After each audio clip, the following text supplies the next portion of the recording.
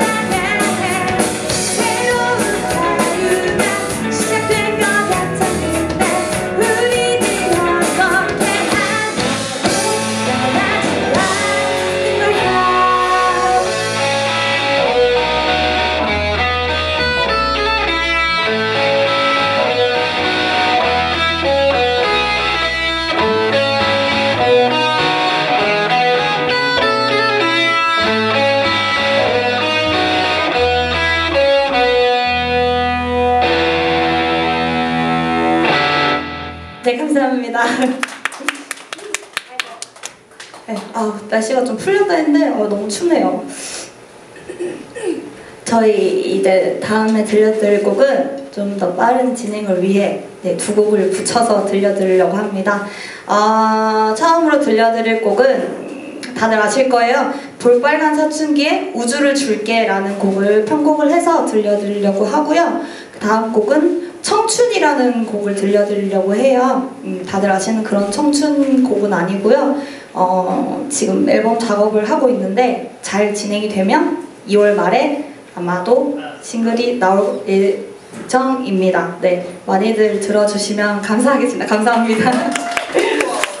네, 청춘 그 가사가 저랑은 좀 해당이 안 되는 가사예요. 이게 약간 80년대 감성이 든 가사로 저는 생각합니다. 왜냐면 제가 쓴 가사가 아니거든요. 저희 오빠가 쓴 가사라서 예, 들어보면 예, 저랑 비슷한 연령대이신 분들은 무슨 말이야? 라고 할 수도 있는데 그걸 이해하시는 분들은 저보다 조금 더 나이가 있으신 걸로 네, 생각을 하겠습니다. 저기 근데 진짜 매번 여쭤보는 건데요. 이 기차 다닌 거 혹시 모르세요? 혹시 홍대역에 기차 다니는 거 아세요? 저 이제 저 아, 다녔던 거. 민나이 앞에 기차 이렇게 지나가서 아, 모르시- 죄송- 죄송합니다. 죄송해요. 네, 다들 모르시나 봐요. 저희 곡 진행하겠습니다. 시작할게요.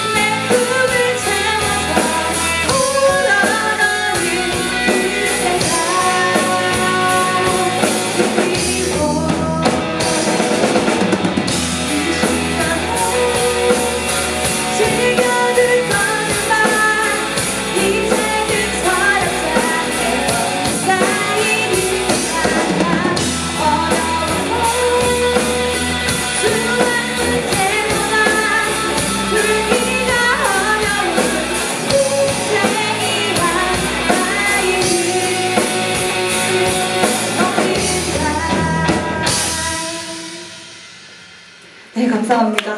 아이고, 작은 실수가 생겨가지고. 저희가 엄청 이 MR 연습을 많이 했는데, 계속 곳에서 공연할 때마다 자꾸 MR 사고가 나네요. 죄송해요. 어머, 티나나요? 감사합니다. 안 귀여워요. 어, 다음에 들려드릴 곡은 저기 뭐야 인어공주의 후회라는 곡이에요. 제목이 조금 심어, 심오할 수도 있는데 제가 이 노래를 부르면서 울 뻔 한 적은 있었어요. 네, 그때 그때가 언제야? 12월 31일이었는데 남자친구한테 10월 31일에 차여가지고 그래서 울 뻔 하다가 네, 울진 않았고요. 제가 다시 붙잡 붙잡았습니다. 아이고, 네, 다시 붙잡아서 만나고 있어요. 이 곡이 어, 아직 나이가 많지는 않지만 20대를 살면서 연애를 했던 그런 경험들을 담은 거예요. 바람 핀다 이러면은 뭐 여자랑 바람 필 수도 있고 일이랑 바람 필 수도 있고 게임이랑 바람 필 수도 있고 뭐 이렇다고 생각을 하는데 뭐 다 그런 그런 이유들로 다 헤어졌어요. 제가 왜 그런 새끼들 만나가지고 네, 이렇게 고생을 했는지 막 생각을 하면서 쓴 곡입니다. 인어공주의 후에 들려드릴게요.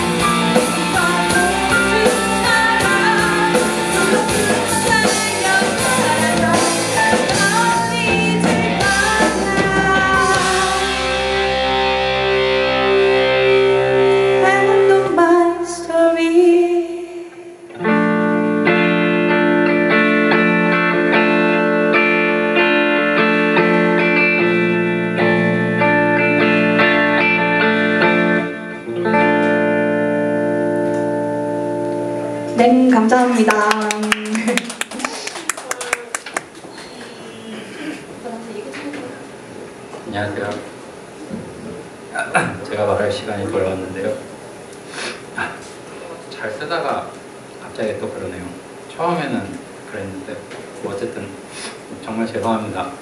다음에 더 전에도 얘기했지만 저게 스티브 라이스가 만든 건데 진짜 개구리예요. 잘 써야 좋은 건데 처음 써봐가지고 사과를 지금 예뻐, 이뻐가지고 뭐, 제가 저걸로 써야 된다고 엄청 우겼는데 다른 노트북은 멀쩡하고 제가 제일 지랄이에요.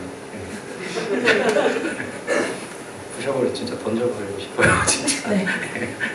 네. 저 오빠의 멘트는 이제 중단을 해야 될 것 같아요. 네. 갈수록 제가 자꾸 말 안 시키려고 하는데 이것 때문에 네, 잠시 부탁을 드렸고요. 혹시 이 악기 아시나요? 멜로디. 네, 맞아요. 다 멜로디언이라고 하죠. 이 악기의 이름은 피아니카입니다. 어, 진짜요? 네이버에 쳐보세요. 저희가 지금 어, 이 악기에 순위가 밀려서 프로필이 두 번째로 있어서 그렇지 원래는 첫 번째 있었습니다. 저희 네이버에 피아니카 치시면은 이 악기와 함께 저희 프로필이 나옵니다. 네, 진짜로 이 악기 이름은 피아니카고요. 어, 멜로디언은 뭐야 브랜드? 브랜드 이름이라고 하더라고요. 약간 반창고가 데일 밴드인 것처럼 예, 그런 이름이 좀 유식해 보이나요? 네. 딴데 가서 좀 써먹어보세요.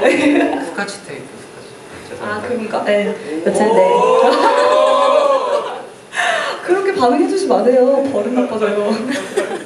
네, 이 피아니카를 아주 조금, 음, 제가 조금, 아주 조금, 네, 유용, 이용을 해서 음, 노래를 들려드리려고 하는데요. 고양이가 필요해라는 곡이에요. 그 곡은 이벤트 곡이에요. 저희가 막 저기 다른 데 글 책에 책이 고양이가 필요해라는 책이 있는데 거기에 광고성 그런 곡을 만들어 드리다가 일반인들한테 이 곡이 제일 인기가 많아서 저희가 뺏어서 쓰고 있어요. 네, 고양이가 필요해 짧은 곡인데 들려드릴게요.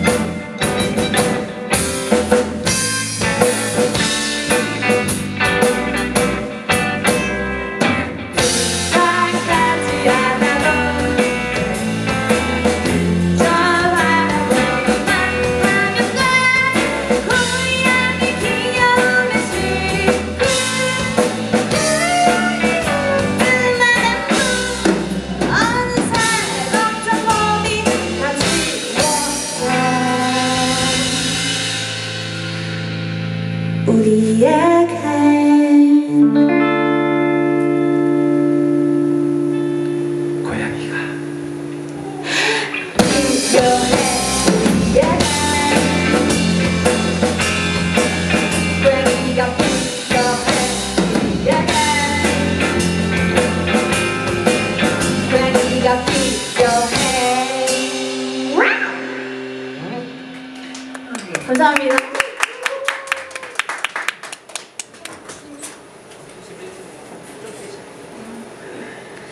저희 이제 어, 네 이제 저희 마지막 곡인데요. 어, 저희가 마지막 곡이니까 말씀을 드려야겠네요. 네, 저희도 다 같이 모든 밴드들과 같이 네 페이스북을 하고 있습니다. 페이스북에 피아니카 네 치시면 좋아요 나오니까 네 한 번씩만 눌러주시고요.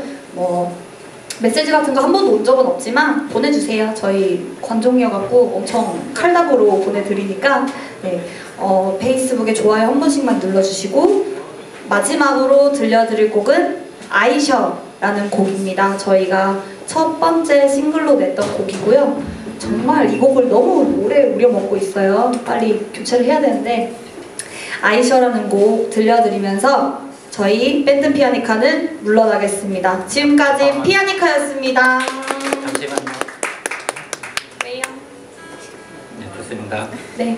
네, 밴드 피아니카였습니다.